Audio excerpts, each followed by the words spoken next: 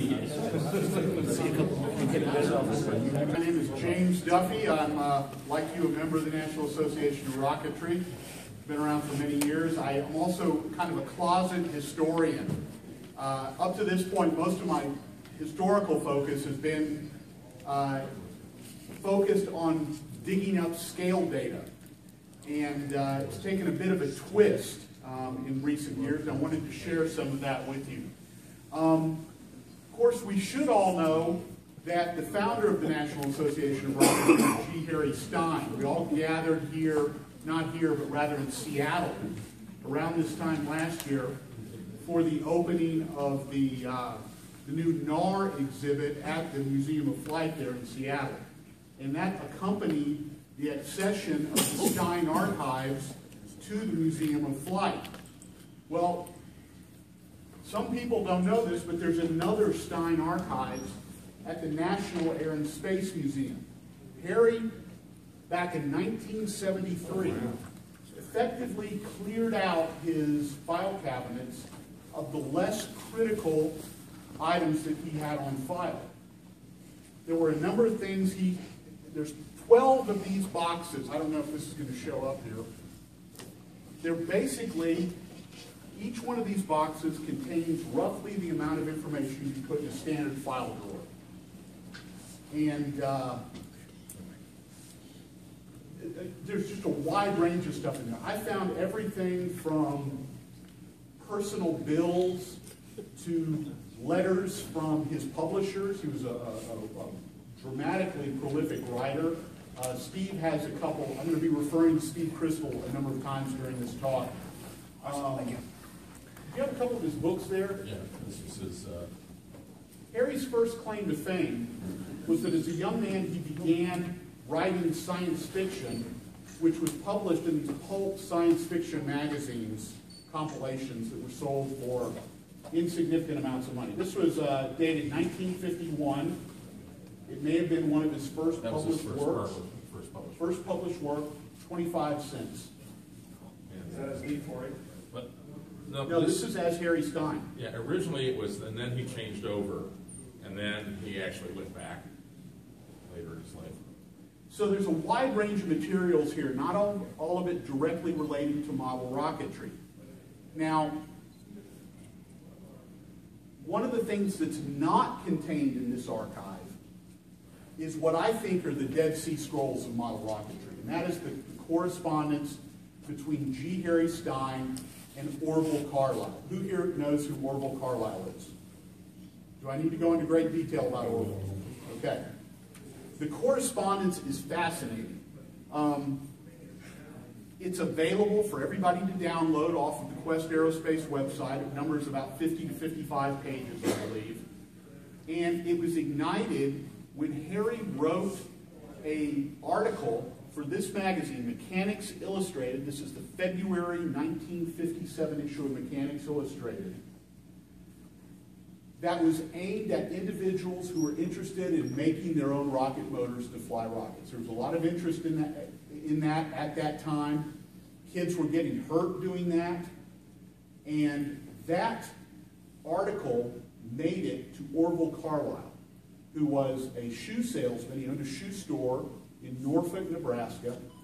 And he was a fireworks enthusiast who had developed, at his brother's request, a small reusable rocket motor based on fireworks technology. It's an ugly little secret about our hobby, guys. It's based on fireworks. Don't tell anybody outside this room. That could be used for what were effectively outreach events. His brother was interested in promoting aviation. He wanted to add a rocket to his, his spiel, if you would. And he asked his brother, the, fireworks enthusiast, to develop that. That project sat for several years after he was successful with it. Uh, he read the article and recognized that Harry might be somebody who could help him get the idea for a reusable hobby rocket motor out to a wider audience and wrote this letter on January 23rd, 1957. Now, this basically says, I've invented a rocket. Would you like to have one? Do you think this might be something you would be interested in? Well, enough of us in this room know enough of Harry. Many of us had the opportunity to meet him over the years. I did not, unfortunately. That hit him pretty well. And what Harry received in the mail a few days later was this, the Carlisle Rocket Chute Mark II, which was a simple reusable model that had pressed black powder motors and used a uh, uh, pencil sharpener as the nose cone. Now, Steve, I'm going to ask you to stand up and talk about the pencil sharpener nose cone for just a bit here. All right, the company out of uh, Chicago was called Lead Sweetie. They were a, a toy and novelty company. They made stuff like little plastic molds that you could use to make uh, plaster Paris things. They made the fabulous automatic crayon holder, okay, which you need. In addition, they actually got a, uh, a patent for a nose cone sharpener made out of plastic. And this, this is one of them. This is actually a hybrid. The first one was sold by Lead Sweetie, cost ten cents, and was round. You can see what it looks like up there. It had little stripes. Subsequently, they made another one that was sold by Sterling. And in some of the pictures that you can see on the website, you'll see both of them. But what they did was you just took the uh, bottom part out, and you used the top as a nose cone and put a little block in it. So very, very clever readily available for ten cents. It's sleeved over the, the body tube, is that correct? No, they actually, if you look at this, you can see that the body tube was roughly the same size, and they used a little wood block in the bottom of it. That became the shoulder. That became the shoulder and plugged in. So, Okay. Thank you, Steve. No, oh, you're welcome. And one, James, one Yeah. more thing, if anybody wants to see, you mentioned those motors. Uh, these are the original brown rocket chutes, and I'm not gonna pass them around, but afterwards, you're welcome to look at them. The brown doesn't refer to the color. No, The it brown refers to the refers to color. the fact that they were made by, Uh, Brown Manufacturing is who Orville got to make the first motors. And if you look at the nozzles, you'll see how different these are. And then subsequently, they went to our friend Vern Estes and got rocket chute motors made that had the pressed nozzles in them. And then eventually, they ended up uh, uh, with another kind. You can see that uh, they put out in boxes. But afterwards, we'll, we'll, Can I add one detail? what was that? On the rocket chute motors, the very first motors came out had, um, okay, the ejection charge had a cap. They also had a cap for the nozzle that was then filled with clay, then drilled. So your, your nozzles there are clay only. Mhm. So these are a later version. Oh, okay, very interesting. Yeah, I- so the important thing here is that Brown was happy to make the prototype motors for Orville Carlisle. His company lacked the ability to scale to production. We'll get to that in just a, a minute here. because that's that a what fireworks was. company or? Brown was a fireworks Okay. company. Yeah, but the real, the big significance of the motors themselves is that's how we got the size of the motor. Correct. If you go to a fireworks stand at, at, at New Year's or Fourth of July and buy an assortment of fireworks, they'll be in standard model rocket sizes, roughly, give or take. Yeah, paper tubes. This correspondence continued throughout the rest of the year, and Harry immediately realized the potential here. He saw an opportunity to create a company. He saw the opportunity to get this out to kids and save lives. And he also saw the opportunity to develop an organization around that. The first element of that was the company. And he created a company called Model Missiles Incorporated. This is a uh, photograph of a pristine Model Missiles Incorporated uh, promotional document, piece of collateral that was in the archives there at Air and Space. And uh, I find it interesting, they sold this, uh, this metal tower here. This is one of Steve's holy grails that he hasn't found yet. Right. Uh, There are a couple examples of these metal towers at the Museum of Flight that you can go see if you And like. that, and that's the one thing, I've been in the hobby forever, and I- when I went to Bill Stine's place in Phoenix, and I saw the tower in the corner inside the box it came in, I never knew for all these years that Model Missile sold the tower. I thought I knew everything, but I didn't know that.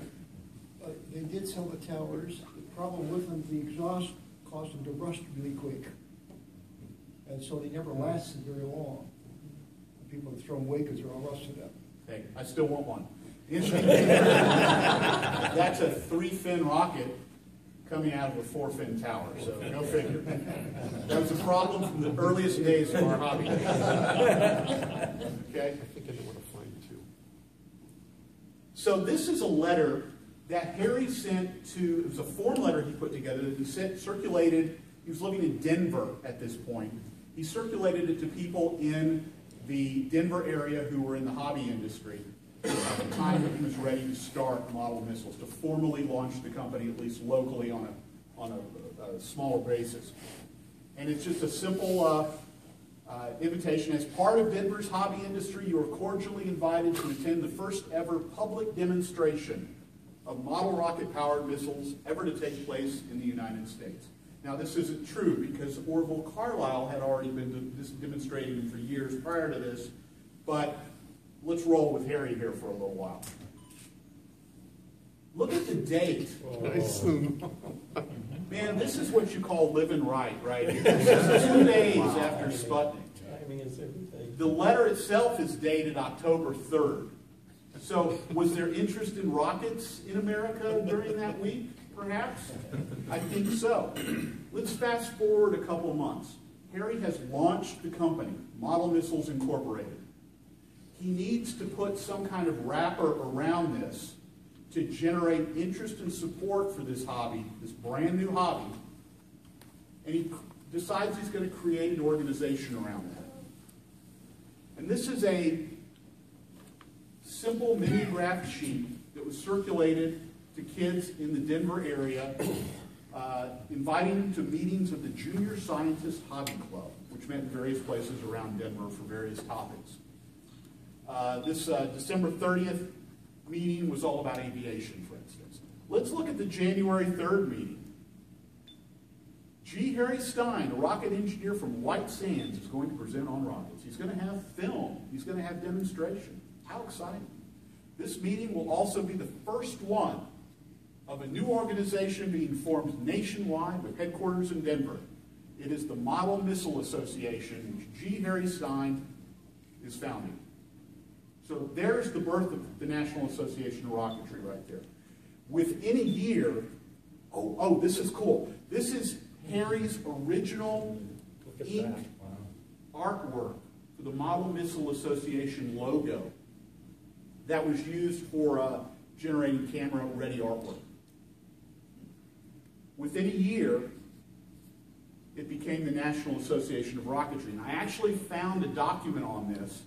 He had a correspondence with a public relations firm there in Denver, formed by uh, retired Air Force people, where they decide that they encouraged him to pull the, the word missile out because that had connotations, and to put the word national into it. So the Model Missile Association becomes the National Association of Rocketry. That happened very, very rapidly. Here is the Model Rocketeer, Volume 1, Issue Number 1, February 1958. It's an eight-page, uh, simply printed document. Um, there's a couple original copies of this in the, the Air and Space archives. That's Del Hitch over here on the right side of this photo. Is this showing up at all on the No. screen? Okay. The- Del Hitch over the the right was uh, an R3 or 4 and uh, was uh, kind of like Harry's right-hand man during this era. Let's take a look here. Here is the first article from the very first issue of Sport Rocketry's predecessor. This is the do's and don'ts of model rocketry by Orville Carlisle, Model Missile Association member number one. Let's read right down here. He says, don't use empty carbon dioxide castle cases as capsules to contain your propellant. Great, we'll make a note of that, Orville. We'll get right on that. Let's go a little further. This is the very first safety code. It's on a, uh, a trifold brochure that was created around the same time. Let's look at this. I will never attempt to make my own rocket power plant without careful library research. Gary, is that important? Careful library research? So there's a, there's a method behind the madness here. Orville Carlisle in his first investigation into commercializing model rockets, found that the biggest problem was shipping, at least it was for him at that point. He thought his grand scheme was not to ship finished motors, but to ship parts, kits, and instructions to people, teaching them how to make their own black powder motors. And that was part of the National Association of Rocketry in this first. I can't, haven't yet been able to pinpoint when the tide turned, and that became not a part of our culture, but it'd be an interesting data point to gather going forward. Let's move forward a little bit here. So he had a, uh, he's up in Denver at this point, and he's done what's effectively the first NAR R&D project as he prepares to uh, uh, put out his Archon kit. Steve, you have a, an Archon kit? Actually, uh, Except they don't have it. Yeah, the very first kit from them was this one, and I'll put it up here if you can see it later. And then subsequently, uh, he put out the, the- the next model was the Archon. Yeah, this was, this was product number one, the Aerobee High starter set, if you will.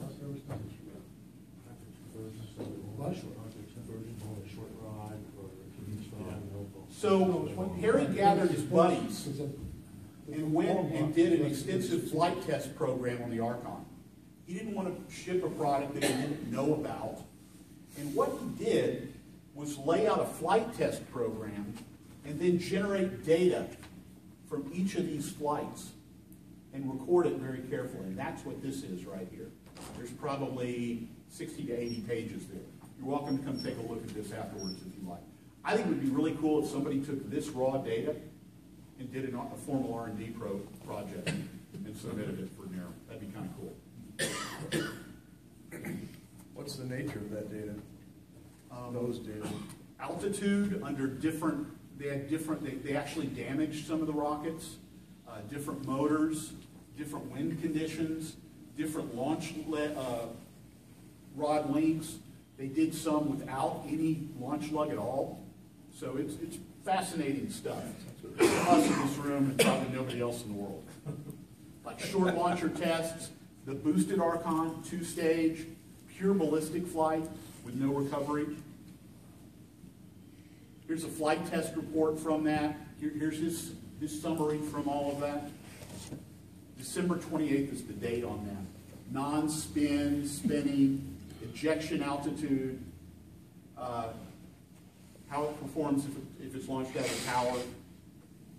Fascinating stuff. Now we're up to 1964. This is, this is really cool. So there's been a lot of discussion in recent years about changing the form of NARAM. You know, five days, seven days, whatever it is. It's the Bataan Death March of rocketry, okay? And Here's NARAM six events and schedule. It's four days, guys. Four days.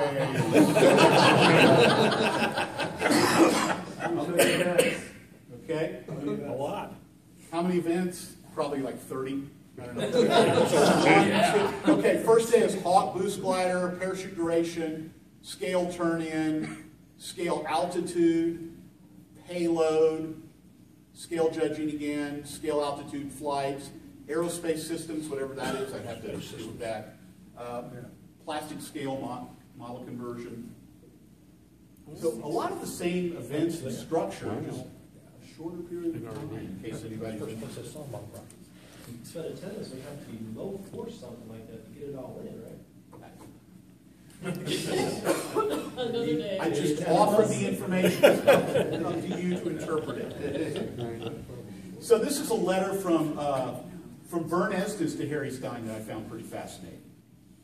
This is dated uh, 1968. Um, Enclosed is a copy of a letter to a New York State Assemblyman uh, and a separate sheet.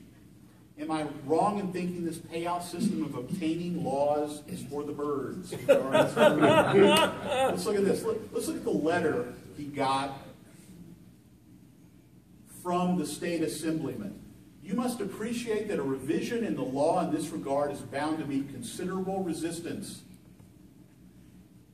In this connection, I've been con- contacted by a former assemblyman who is, has indicated a willingness to undertake the efforts which are going to be necessary if this measure is to win passage.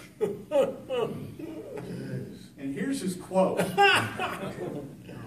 This is Vern documenting this. I've got to think that Vern was thinking about, I need to be able to be able to tell a lawyer someday exactly what happened today. Yeah, He was told for ten thousand dollars, I'll get the laws about model rocketry changed in New York State.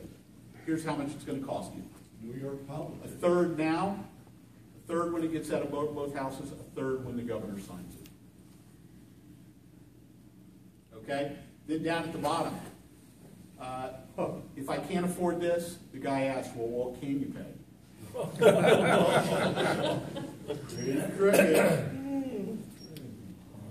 Okay, so here's a clipping from a, uh, a newspaper up in Connecticut. Harry has moved to Connecticut at this point.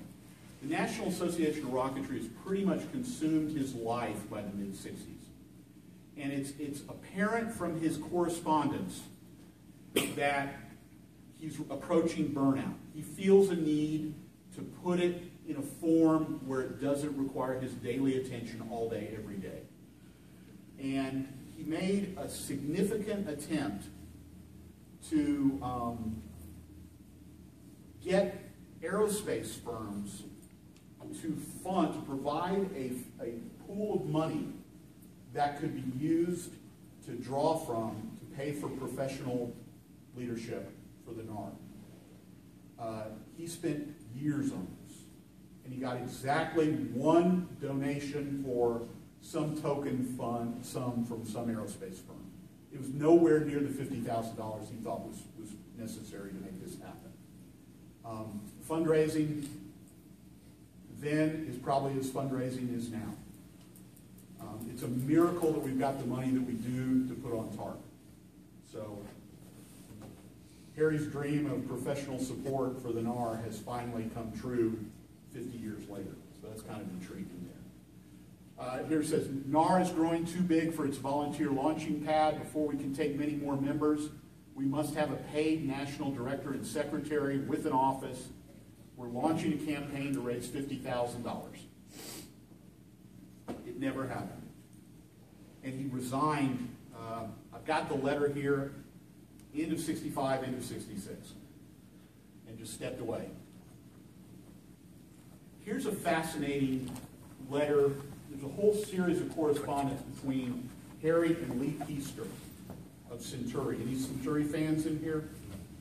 I was always an Estes guy. Growing up, you were either an Estes guy or a Centuri guy. Steve was a Centuri guy, We're up in Phoenix. okay?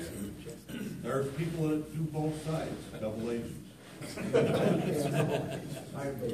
So another thing you pick up as you go through all of this correspondence is that Harry desperately wanted to be involved with a model rocket company again after the model missiles, uh, model missile industries, model missile incorporated failure in, in 1959, 1960. Um, Centuri actually engaged him about becoming more involved in the mid 60s.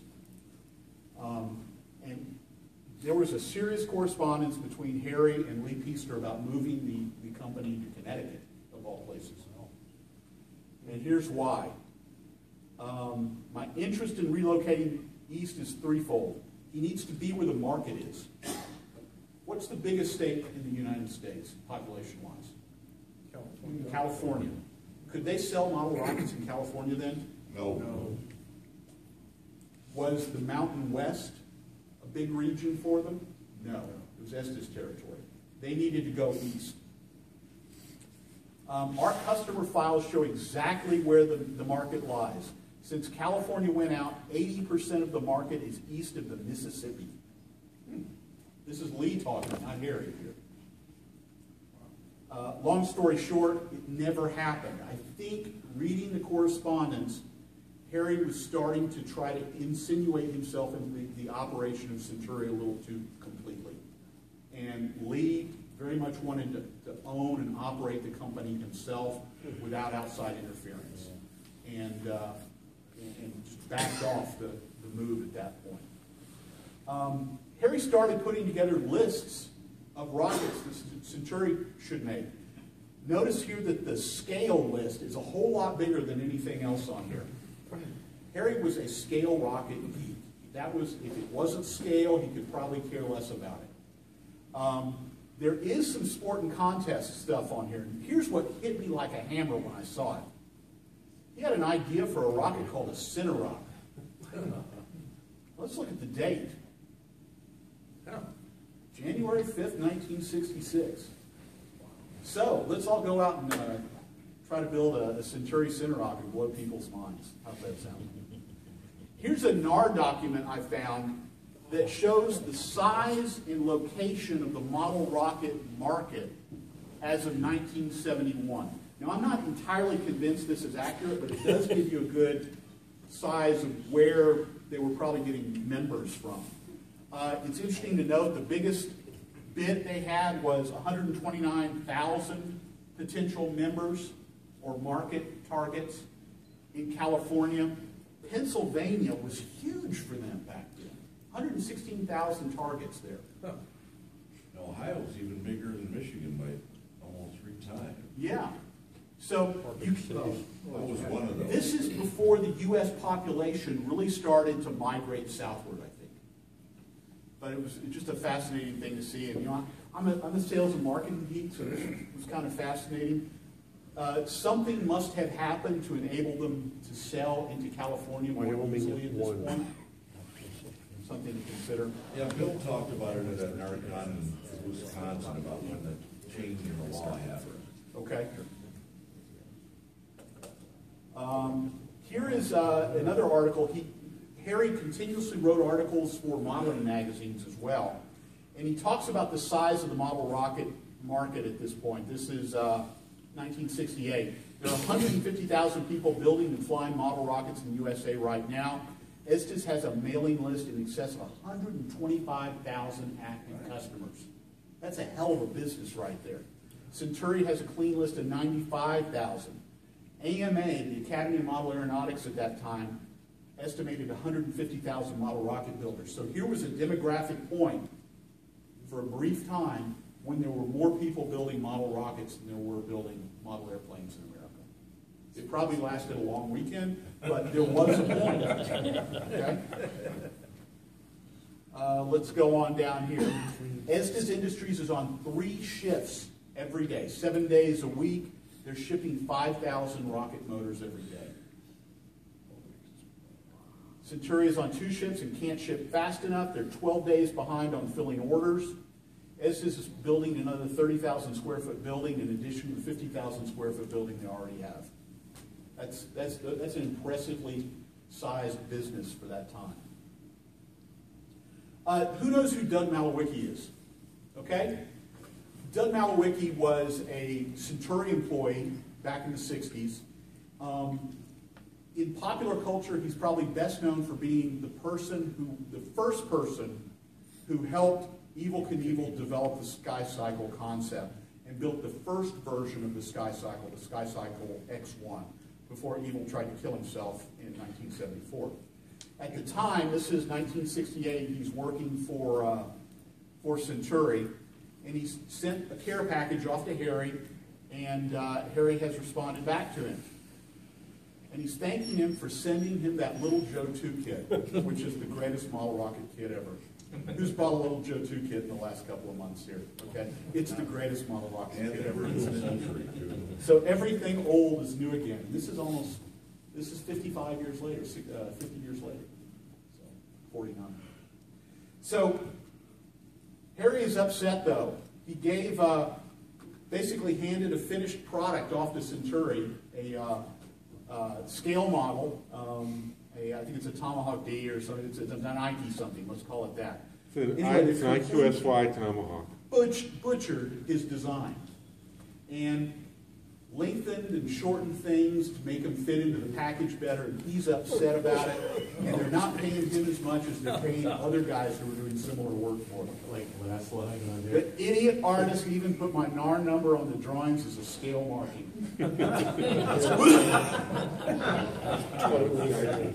Okay, this is for my fellow NAR hamsters in the room. Any NARHAM's members here?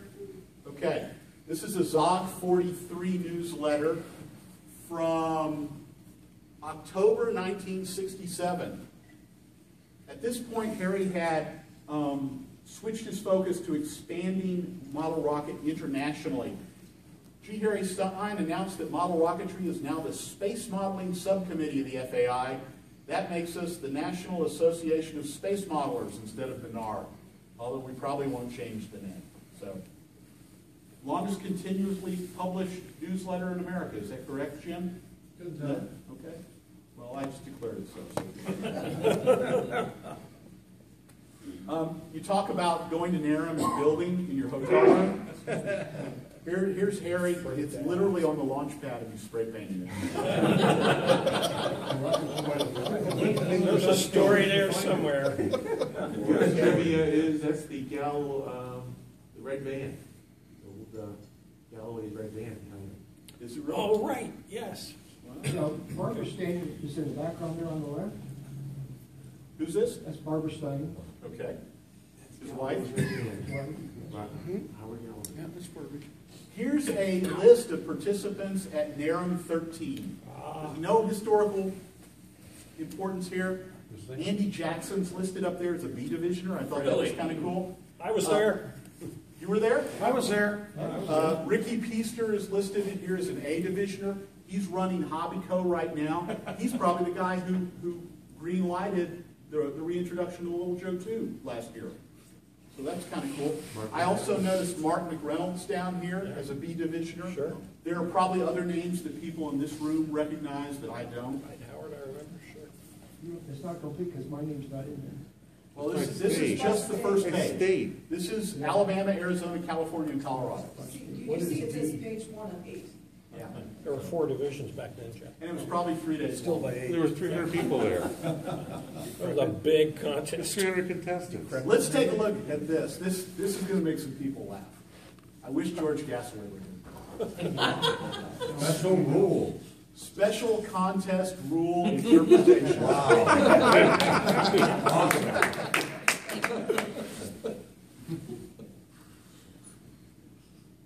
This is a 1970 NARAM. This is Harry's uh, courtesy traffic warning from the Manned Spacecraft Center. There's all kinds of stuff in here. I should mention now that the bulk of what constitutes this archive is correspondence. Harry would make a carbon copy of every letter he sent, and he would just file it away for later use. And this, this is that later use, I guess.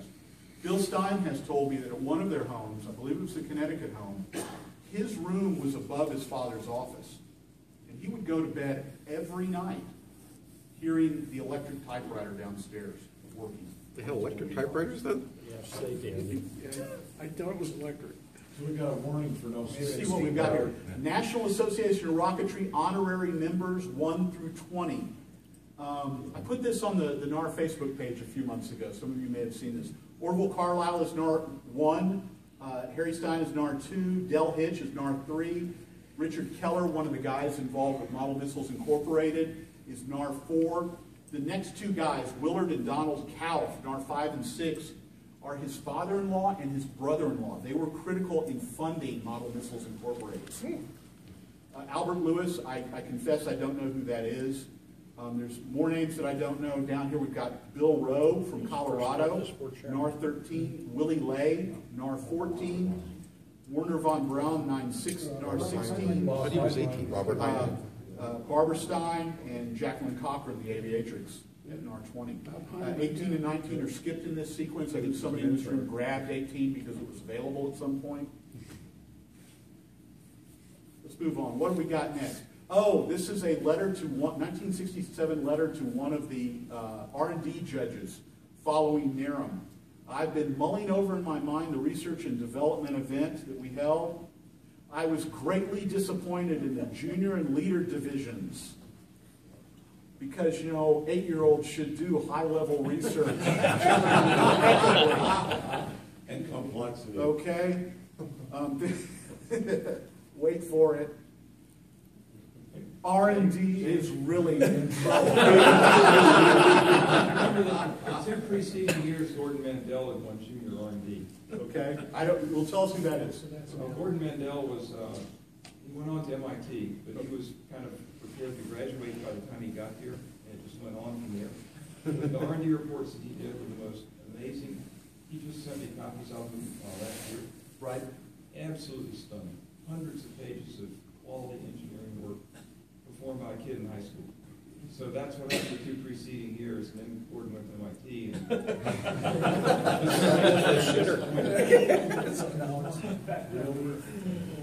Can't compete against Gordon Mandell. Okay, so we're approaching the end of my formal presentation here, and I just want to, this is probably the coolest thing I found in the entire bundle. I went through all 12 boxes, albeit very quickly, and I need to go back again at greater leisure and with, with more detail. But this, this is the one that hit me like, I mean, just Eiffel Tower at midnight, okay? This is incredible. This is a February 1957 batch of photographs that I don't think has been opened in almost 60 years. They are photographs of Harry prepping his first Mark II Carlisle rocket chute Mark II. Wow. Uh, he probably asked his wife to come outside with him to snap the photos while he prepped it. You can see in his pocket uh, the parachute protector. Parachute protectors were not wadding back then. It was paper that was folded up in kind of a simple origami shape. It would be slid down the tube, the parachute would be inserted into that. Here's the simple launch pad over here. He's wrapped up the parachute, he's wrapping the shroud lines around it like you're not supposed to do, okay? And uh, he's probably in his late 20s at this point. And to just think about what's going through this guy's mind at this point is really inspiring. And, you know, we're all here today because of what's going through this guy's mind right here at this point. And that, that, that just really hit me. I, I made a special point of taking these, these photographs over to Brian Nicholas, the archivist I was working with there. I said, look, this is something special. This is something that Air and Space Museum needs to preserve appropriately, display appropriately, and make sure that it lasts forever, because this is really important to all of us right here. So I'll do much more research there. I don't know what's going to come of that research. I haven't decided yet, but uh, there's much more to be found there. And I haven't even been to Seattle yet, so we'll see what we can come up with there. Any questions at all? The, the hive mind here in the room can probably share a lot more than I can. Um, The uh, model missiles, the Aeroplane High, uh, if I recall right, the, the box was less than thirty-six inches. And so the first launch rods were actually bent out of shape a little bit. And the first, as I mentioned earlier here, the first uh, ground motors had an injection kit at the nozzle end, and that was filled with clay and then drilled. Because I still have a couple. Okay. Were you a customer at this point? What? Were you a customer at this point? Yes, I, I bought one of those kits in nineteen fifty-eight, Okay. and then the Archon later, and I still have them, you know, behind myself, with the original motors. Um, The uh, parachute was, was uh, plastic, the, uh, nose cone was pine wood. Later on, they went to a plastic type of nose cone with a tip Rubber. bent a They, they make reference in some of the documents to, Actually, to, Tom, was, was the, Vinyl. was the pine one first? Yes. Because in the B models, they had also, th- this is a B kit, there was an A kit. Right, okay, the, the first motors they produced were the A four, and it was like approximately two, two years later, they come out with an improved B six, Yeah. which, A four was A four, A four, I think it was four second delay. The B four motor was a four second the, the delay. correspondence between Harry and Orville makes reference to both of those motors, as well as the booster motors as well. So I'm gonna ask Steve, Steve, you've got, Steve has an extraordinary collection of Stine ephemera, if you will. And, tell us about some of the goodies you got here in your box. First of all, I, when, when James says that, that Harry was a prolific writer, I mean, the guy wrote sixty-plus books. The, the number of magazine articles that he did was in the hundreds. And so I happened through a weird set of circumstances to pick up uh, a first edition copy years ago. Well, the first edition copy that I ended up getting was actually this one that was a signed first edition copy. And that kind of got me started on collecting Harry's books. You can get every book he wrote, you can get every magazine article he wrote. It's hard to get them signed. So, it wasn't any challenge to get the books. So, since that time, I've been collecting. Then Bill uh, ignited another passion, which was Bill sent me a copy of one of his nonfiction books in Japanese. His books are still being published today. So Bill sent this to me and went, Japanese? I didn't know that Harry had books in Japanese. So I started looking. That started another whole collection of trying to figure out all of his books that have been published in foreign languages. And they were in Greek, they were in the Spanish, they're in Portuguese, they're, I mean, it, Italian, French. Oddly enough, one of his least published foreign books is this one. Okay? The, the Handbook of Model Rocketry has been published in French, uh, one edition in French, and one edition in uh, Italian. That's it. He produced a book in Germany. You know, his other book, the, the, the he had another book about model rocketry. The Arco book? What? Was it the Arco book? Yeah, the Arco book. That was published in Germany also under the name Handbook of Model Rocketry in German. But so Harry was just an amazing writer. One of the things I was able to pick up was this, and you can come down and see it. He gave a talk um, to the uh, American Rocket Society in 1958.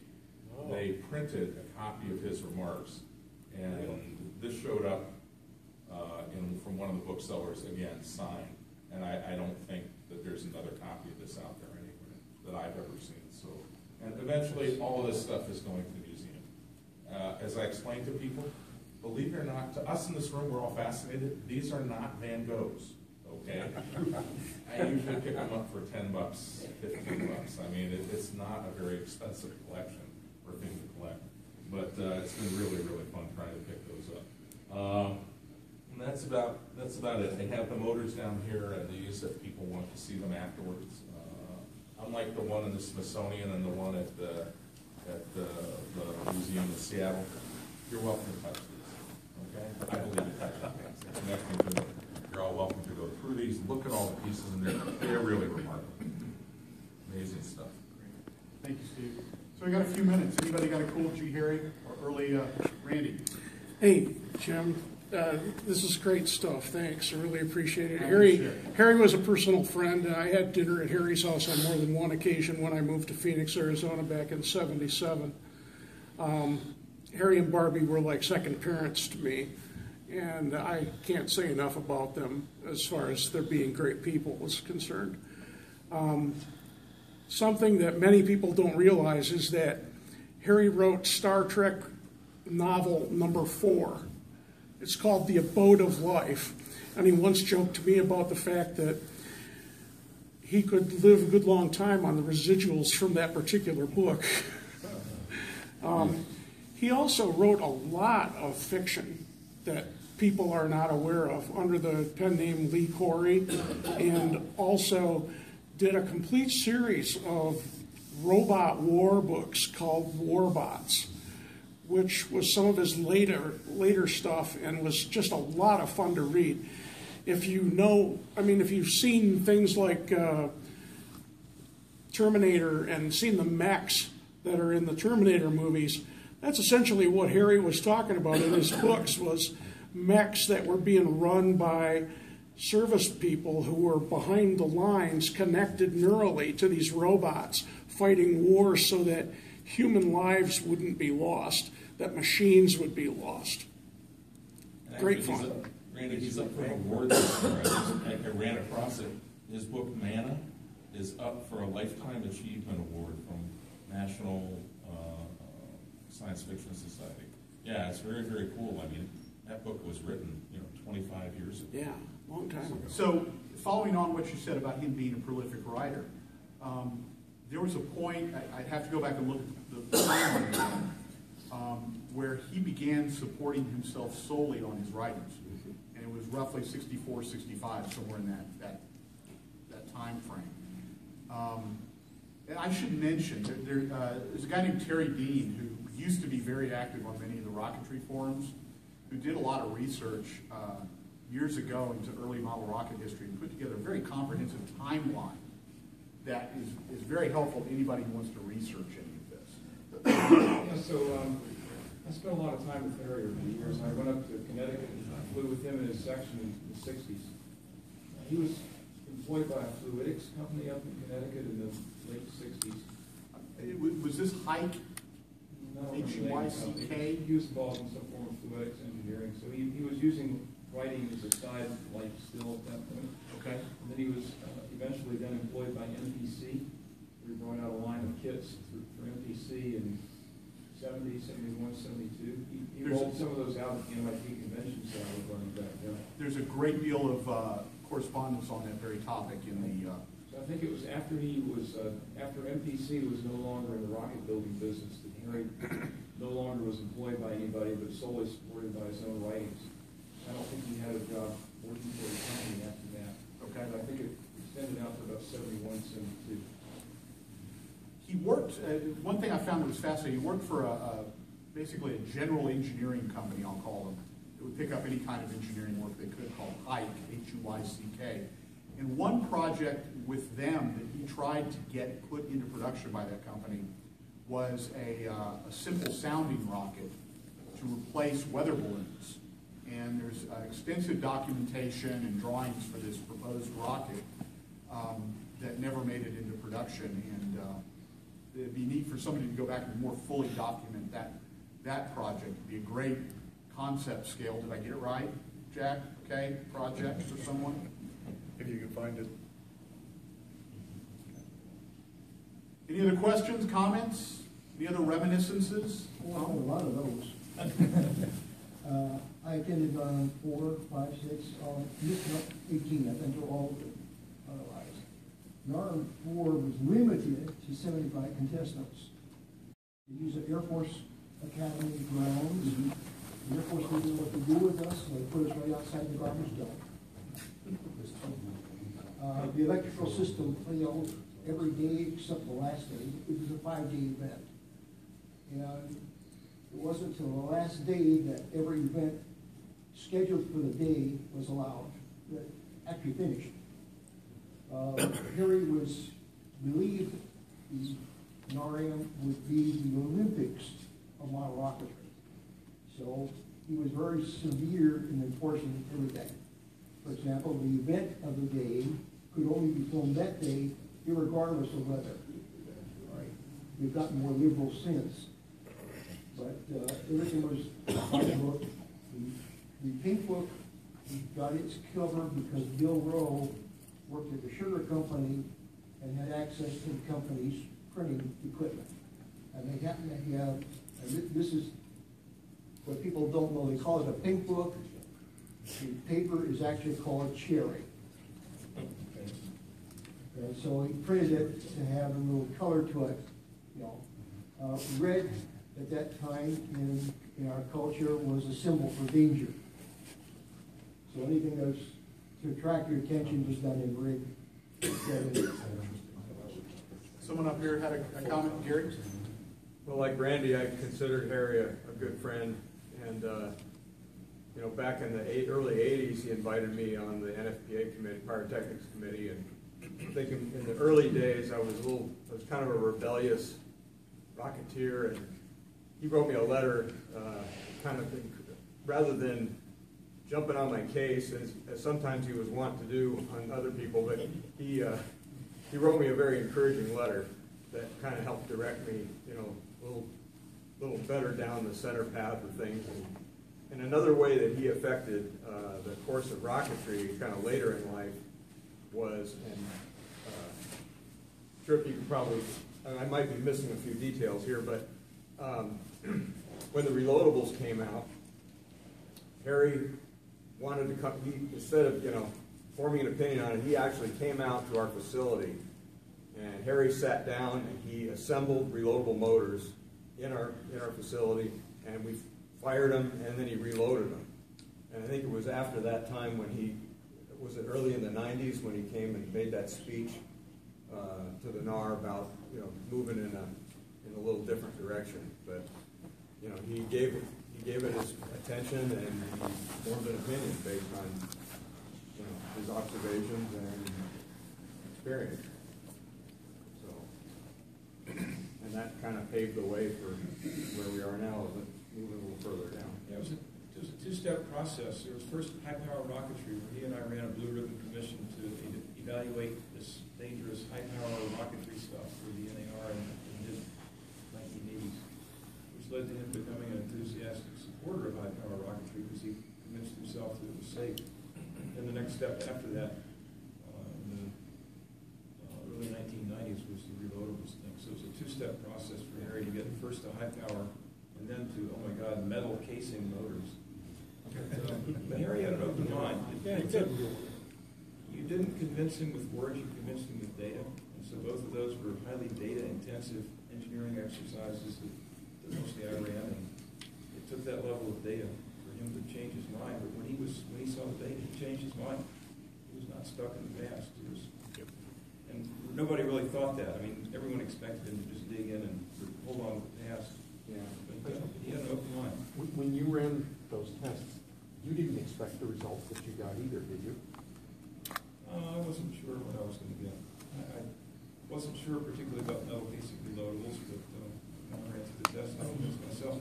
Was it Harry that said that we were never supposed to be the National Association of Rockets under sixty So, ounces? actually, Yeah, actually, whatever. what- actually what he said was, is that we're, we're not the National Association of Model Rocketry, we were the National Association of Rocketry. Right. And that really hit home. Yeah. That was the exact, I mean, hopefully that was the exact word that he used. Yeah, that was the That, term used. that really hit home for me as far as like, here's someone who's like, everything is safety and do this, do that. That and, you know, fry ice at R nineteen. Go fry ice. Yeah. Yep. Well, he got that from his wife, who was from down east Maine, and that was a local term there. I'd never, I'd never heard that before. What if you can see, the NAR logo, that is not the original one. The original logo was the butyl valve nozzle with the NAR Yes. letters. There there are examples of that throughout the article. Yes. Yeah. Well, guys, that's all I've got. I would encourage everybody, go on the Quest Aerospace website, download the Orville Carlisle, uh, Harry Stine correspondence, read through it. It's fascinating stuff. Thanks a lot.